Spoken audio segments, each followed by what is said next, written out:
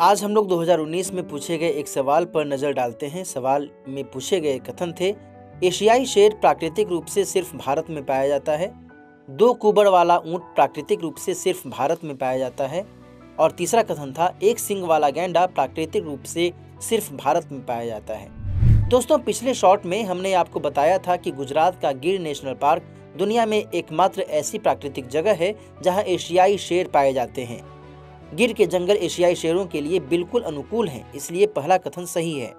जबकि दूसरा कथन गलत है, क्योंकि दो कुबड़ वाले ऊँट, यानी बैक्टीरियाई ऊँट, चीन और मंगोलिया में फैले गोभी मरुस्थल में भी पाए जाते हैं। भारत में ये नुब्रा घाटी में मिलते हैं।